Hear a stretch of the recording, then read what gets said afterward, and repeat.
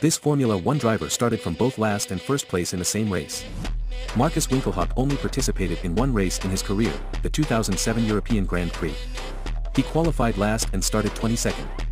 But by lap 2, he was already leading the race by 20 seconds, as he was the only one to switch to intermediates after the formation lap. By lap 4, he had stretched his lead to 33 seconds. However, due to heavy rain, the race was interrupted, and Winkelhock was allowed to start from pole position at the restart. Even though he had to retire soon after with a mechanical failure, he still became the only person to start from both last and pole position in the same race.